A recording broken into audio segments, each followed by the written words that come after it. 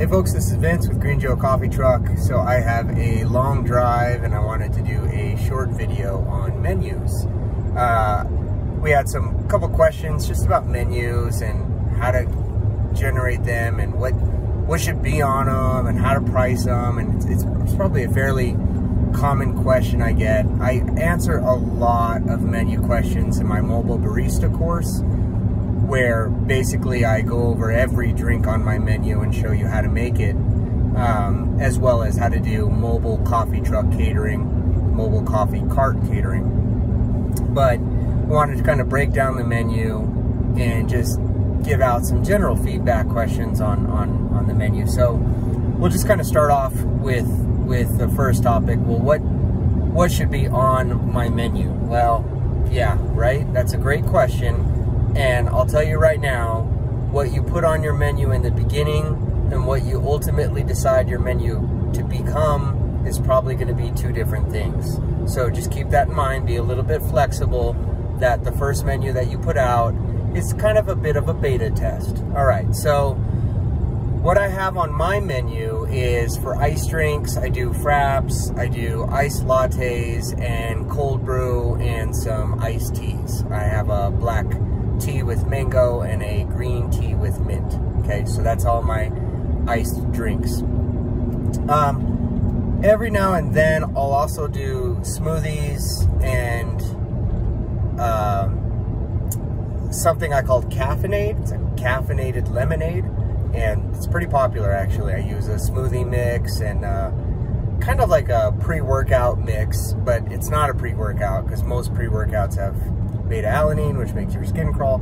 Anyways, so a caffeine supplement basically, um, and I just add it to uh, lemonade and smoothie mix, and I make these frou-frou kind of smoothie caffeine caffeinated lemonade drinks. They're really popular. Whatever. That's just um, something I do on the side for funsies. Uh, but as far as like the menu go, the main ones is going to be the fraps and the iced lattes. Those are going to be and the cold brew. Those are gonna be my main iced menu drinks. For hot menu drinks, it is uh, hot coffee, um, anything that's espresso based, you know, the macchiatos, cappuccinos, flat whites, lattes, uh, cortados, blah, blah, blah. And then um, iced latte, or excuse me, um, hot lattes, like flavored stuff, like your mochas and caramel macchiatos and vanilla lattes and that jazz. Um, my big four are uh, caramel, chocolate, vanilla, and chai tea. Um, I do carry a sugar-free vanilla. Um, there's some other ones that come and go, white chocolate, uh, pumpkin, of course, you know, mint jumps on the menu fairly often for different reasons, but there's uh, some different flavors that kind of come and go, but the big four are, are the ones that I, I usually keep on pretty much year round, or if I'm doing like indoor catering and I'm limited on how many flavors I can bring, then I'll, those are the, the big four I'll typically recommend. All right, so then for non-coffee drinks, I like um, hot chocolate and I'm kind of a little bit of an oddball when it comes to hot chocolate. I really enjoy like specialty hot chocolate, if that's even such a thing. But I mean, we will go on the deep end when it comes to hot chocolate. So one of my big sellers is a hot caramel.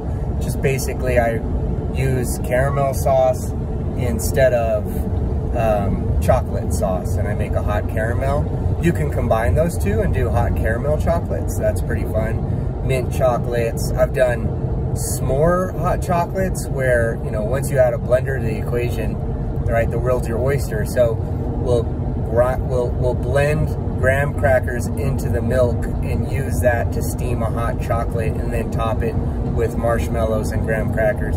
Anyways, I go off the deep end with hot chocolate. Long story short. Okay, and then uh, for teas, I'm a big tea fan. So I know you know I'm a coffee drinker, but I actually really enjoy tea. So I have a lot of other tea options. Um, I do some latte-based teas. I have the London Fog and the chai tea latte, and there's three versions of that, sweet, semi-sweet, and traditional, and all that's covered in the the uh, mobile barista course. Same with how to make my uh, London Fogs, which is a Earl Grey latte, basically, a hint of vanilla. Um, and then for the other teas, uh, you know, I have just regular old chai tea, uh, Earl Grey, uh, green tea, and uh, I usually like to have a peppermint or a hibiscus. Um, so I do have a lot of tea options, probably more than I need, but I milk off of them myself and they don't go bad, so why not have more options type of thing. But anyhow, so that's what I usually have for the teas. And then, you know, for, you know, uh, foods, it's usually grab and go stuff, uh, typical local bake uh, pastries, muffins, and, you know, turnovers, danishes type of thing. I do like the breads, like lemon poppy and pumpkin spice and banana nut. I, I like breads, oddly enough. They have good shelf life. People love them. Um, they're grab and go, and you can keep them fairly low priced and keep your ticket, uh, your average ticket item high. You know, you can sell them for like two bucks. But I have all those on the menu as well. So, okay, that's what I have on the menu. But, you know, what's more important is how I create my menu. So, the thing about menu creation, I'm a big fan of pictures. And I know it sounds silly, but any of you that has traveled to another country, Europe, South America, whatever, you know that when you go to a foreign restaurant that, you know, 90% of the time they have pictures associated with the menu items. And I just think that that is a fantastic way to help people make their decisions fairly quickly. Now, do I put a picture up for every menu item? Absolutely not. But my big ones, like my caramel macchiatos, my cold brew, my um, what I would call my uh, popular items, items that people get often and also have a decent profit margin um, I make those into pictures and I put that on the menu, and it is worth a thousand words. The other thing about the menu is placement. Now, I didn't know that placement was so important until one day. Uh, this is when I still use chalk menus. Back when I first started, I did chalk menus on all my menus. Now I don't. I use A-frame menus. I'll tell you why. So I was, uh, I can't remember what it was, if it was a four-year-old or a rainy day, but somehow that chalk menu just got destroyed. And it had been destroyed so many times before. You get like a four-year-old that just loves looking at the smears of chalk and they'll ruin your entire menu and it takes you an hour to, you know, go back and redo all those things. Just a big pain in the butt, right? So something like that had happened one day. I don't remember what it was, but I had to rewrite my menu. Well, anyways, I had a coconut latte that used to be on the uh, the very bottom of my flavor selection. And for whatever reason that day, I wrote coconut on the top. And previously, my coconut latte sales were like maybe two a month, so little that I very much considered removing it from my menu so I didn't have to keep it in stock. But on that particular day, I had sold like five coconut lattes, something crazy that I have never done in a single day before. And I was like, this is crazy. Why do I have so much coconut lattes? And it was because I had moved it to the top left-hand side of that menu. So then I started experimenting and all the experiments tested the same results that the top left-hand part of the menu is the number one placement for an item because that's how we read. We read from the top uh, left to right. So that's where our eyes go first, unconsciously. Anyhow, so knowing that, now I build my menu based upon that real estate. My caramel macchiatos and my cold brew pictures go up on that side of the menu because those are my popular items with a high profitability. Um, so in terms of how to build the menu, uh, that's basically how I do it. The, uh, the items like macchiato, cortado, traditional espresso drinks that every now and then I'll sell one or two of them. Those tend to go on the bottom to the right. And to be honest, it's no offense against those drinks, but typically guys that order that drink, like let's say it's a guy that orders a flat white, once he sees your espresso machine, he's not going to look at your menu. He's going to order his flat white. That's what he orders every time. So, you know, it's I don't think it's very much of a high importance to have those traditional items very visible because those that are loyal to their personalized drink are going to see the espresso machine and order their personalized drink without even looking at your menu. The people that are interested in what flavors you have and interested in what your men menu is communicating are, are, people that like the, you know, the frou-frou or the more flavorful drinks, right? So just kind of keep that in, bearing in mind. Now, one of the things I will say while I'm on the topic of uh, real estate on the on the, the menu is at the very top, I always put my services that I provided. So typical food truck lingo is like catering, weddings, business events, or something like that. And that's a fine way of doing it. There's nothing wrong with that. But I also like putting things like make your next event special or make make your wedding or business event special. Ask for a card. And then, you know, then when they get up to, to order, you can give them a business card and they'll take that with you and you know, you know, personalize it or something or find out what their favorite drink is and be like, oh, you're getting married? Well, we can have your favorite drink at your wedding, blah, blah, blah. And, you know, just spark some business, right? Okay, so at the top of the menu, the very, very top, before anything gets started, that's where I put things like my website, my hashtags, my Instagram, my Facebook icons, and then something that has to do with spreading the word that I do more than just drive up or walk up business that I also do catering. So you can, you know, catering, wedding, business events, whatever, and then put your menu. All right, cool. So now that we got that down, let's talk about the menu itself. How big should it be? Where should you put it? Now, originally when I first started, my menus were chalkboards and I put them on the truck but then as I developed, what I learned is if you put your menu on the truck, then people that are standing in line, they have to wait until they get to the front of the line before they can decide on what drinks to order, especially if they have bad eyesight. So the problem with that is when you're busy, then instead of people knowing what to order, they're like, well, what do you have, right?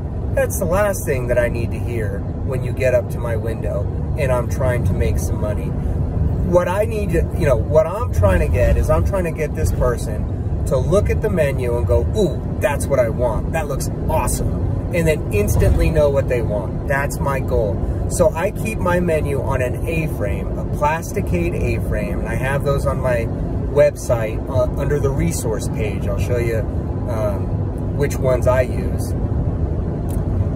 And I I use a 24 by 36 inch, and you can get those printed at Vistaprint. They're fairly cheap, or your local printer, or Kinko's, or wherever you go to get your printing done. And I get it printed on a, a corrugated plastic sign that's the same material for a yard sale sign because you know the wind the wind and the sun and the rain can do all they want to it and they hold up just just fine right so I print that out and I, I, I put that on that plasticade menu, usually with some Velcro is how I do it. I just super glue Velcro to the plasticade and then super glue some Velcro to the the corrugated sign and then I just stick the Velcro pieces together. And that works pretty well. And I'll put that menu probably about 10 feet away from my window so that if you're like the third, fourth, fifth person in line, then you can see the menu. Right, that being said, I also get two other menus, uh, 18 by 12s, the smaller A-frame sign. Any of you that have seen the real estate open house um, signs on the side of the road, that's about the size that you want to shoot for. And those ones, typically they'll have just one picture. I won't, it'll be like my best-selling item, and I'll put my best-selling items on that menu, like Frappuccinos or, you know, Caramel Macchiato. And I will put those little menus anywhere that there's a anywhere that there's a congregation of people in my event. So if I'm doing a 5K, it's going to be at the registration table and the bathrooms, right? If I'm, you know, doing, I don't know, the farmer's market, it's going to be at the entrance. So wherever people congregate, I'm going to stick that sign and just get a little pre-marketing done, kind of warm them up a little bit. So I, I usually get two more menus on top of that A-frame menu.